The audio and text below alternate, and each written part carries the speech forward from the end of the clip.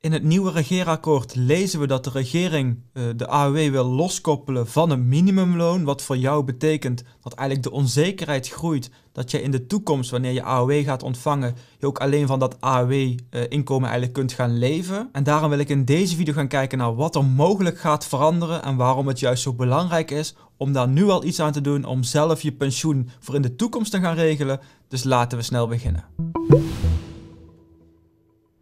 Leuk dat je kijkt naar weer een nieuwe video van een passiefinkomen.nl. Op dit kanaal werken we aan een toekomst met meer vermogen en meer vrije tijd. En in deze video gaan we dan kijken naar de AOW, de AOW in jouw toekomst. En die is ook voor jou heel belangrijk, ook al is die misschien nog heel ver weg. Want dit is eigenlijk gewoon het bedrag dat jij vanuit de overheid ontvangt wanneer je met pensioen bent. En dat je dus eigenlijk als een soort van basispensioen kunt zien. Laten we nog eerst even gaan kijken naar wat de AOW precies is. En de AOW is een afkorting voor Algemene Ouderdomswet. De Belastingdienst zelf zegt ook: dit is een basispensioen vanuit de overheid. Iedereen die in Nederland woont en gewerkt heeft, ontvangt deze dus eigenlijk vanaf zijn pensioengerechtigde leeftijd.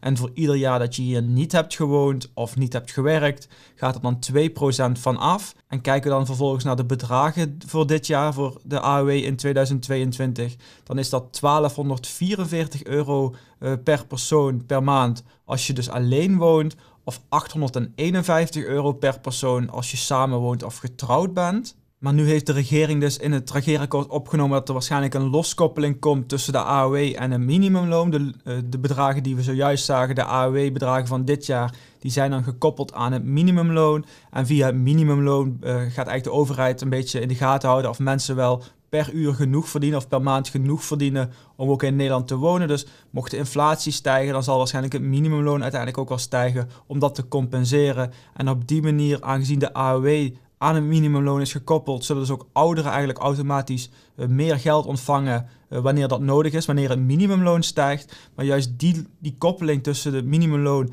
en de AOW, daar willen ze vanaf. En dat gaat natuurlijk zorgen voor uh, heel veel ophef, heel, zowel onder ouderen als onder de vakbonden. En dat is ook wat we lezen in dit nieuwsbericht um, van 18 januari van nu.nl. Uh, nieuwsbericht dat de kop ouderen en vakbonden verzetten zich tegen de ontkoppeling AOW en minimumloon. En dat is dus eigenlijk ja, een heel, heel nieuwsbericht. Ik zal een paar zinnen even eruit halen die ik denk wel belangrijk zijn. Uh, ten eerste, tot nu toe ging de ouderdomsuitkering telkens even sterk omhoog als het minimumloon. Maar in het nieuwe regeerakkoord is daar geen sprake meer van. We lezen ook het minimumloon gaat voor de komende twee jaar 7,5% omhoog. Kondigen het nieuwe kabinet eerder aan. En de vakbonden willen dan ook dat dit, um, ja, die zijn blij dat het stijgt, maar die zijn dan weer teleurgesteld dat juist die ontkoppeling er komt. Want ze vinden het heel erg dat de AOW niet meestijgt, zoals dat het afgelopen jaren, de afgelopen jaren wel het geval was.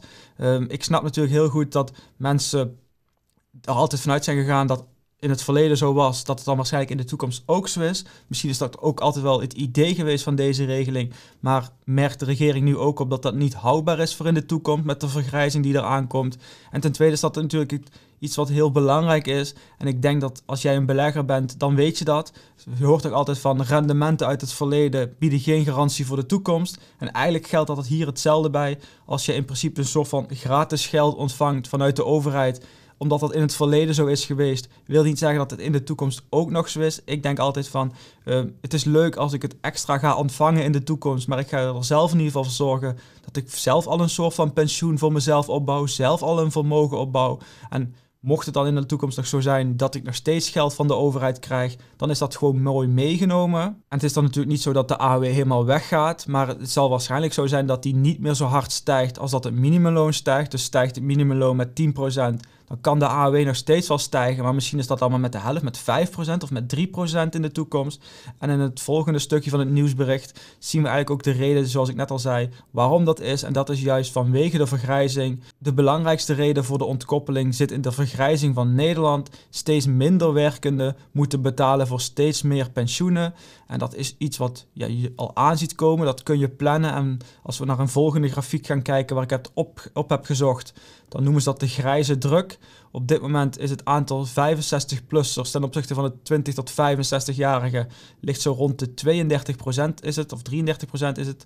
Maar uh, dit zijn de echte cijfers, de gemeten cijfers. En dit is een prognose en dan zie je dat rond 2040 zo net onder de 50 zitten.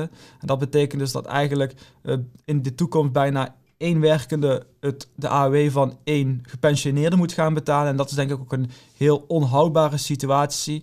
Uh, de kleine groep mensen, of tenminste de mensen die werken, wordt relatief klein, omdat we nu ja, die vergrijzing er zit aan te komen. Dus het systeem van de AOW is natuurlijk heel populair, heel leuk geweest in de toekomst. Maar juist omdat we er ook zo mee zijn begonnen, uh, zomaar in één keer. Iedereen kon meteen profiteren zonder dat er eerst geld werd ingelegd in principe. En na de hand is het ook nog zo dat het juist uh, in die jaren heel veel mensen er waren. Um, heel veel de vergrijzing, daar gaan we nu last van krijgen, laten we het even zeggen.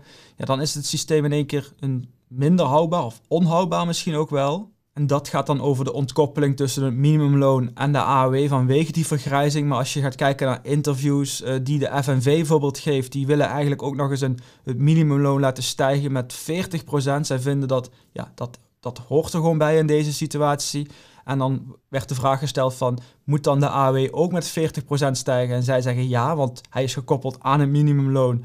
En dan vraag ik me af, als het nu wel zo lastig is om deze regeling gangbaar te houden, het draaiende te houden met deze stijgingen. Hoe houdbaar of waar moet het geld dan vandaan komen als er 40% zou moeten stijgen? Dus het is leuk dat je mensen meer geld geeft, maar het moet ergens vandaan komen. Dus ik denk dat het zeker in die situatie helemaal onthoudbaar uh, of niet houdbaar is. En dan komen we aan bij het laatste onderdeel van deze video. En dat is wat ik zeg van regel je eigen pensioen. Het is gewoon leuk dat je vanuit de overheid een AOW ontvangt.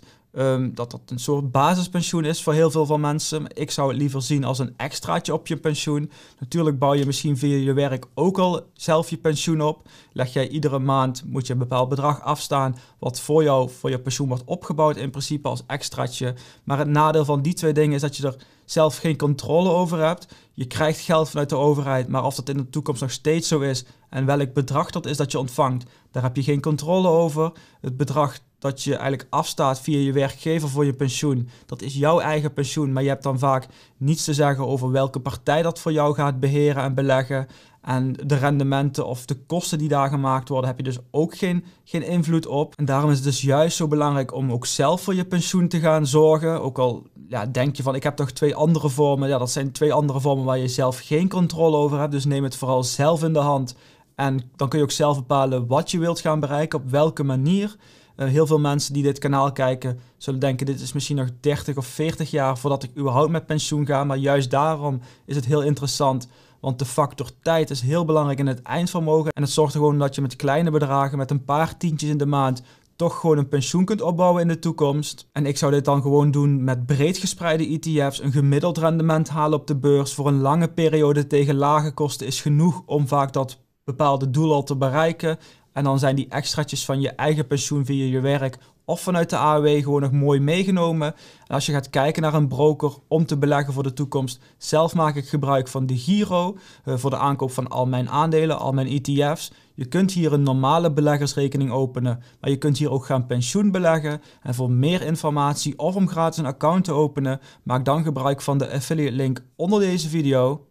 En dan hebben we eigenlijk de samenvatting van deze video is dat waarschijnlijk hier binnenkort nog over gepraat wordt. Dat het misschien wel wordt bijgesteld. Misschien um, gaan ze dan nu zeggen van oh, we gaan het de komende tijd afbouwen. Dan valt het relatief gezien nog mee. Maar ik denk wel dat er ook iets moet gebeuren omdat het systeem anders ja, moeilijk houdbaar is in de toekomst. Maar laat ook vooral weten hoe jij er tegenaan kijkt en doe dat via de reacties onder deze video. Is het iets waar je al druk over maakt, waar je al mee te maken hebt of waar je nu misschien wel over na gaat denken juist voor de toekomst? Vond je het een leuke, interessante video? Geef dan zeker even een duimpje omhoog. Wil je meer video's zien, maar ben je nog niet geabonneerd op het kanaal? Klik dan op abonneren onder deze video om nooit meer een video te missen in de toekomst. Wil ik jou nogmaals bedanken voor het kijken. Hoop ik jou bij de volgende video weer te zien.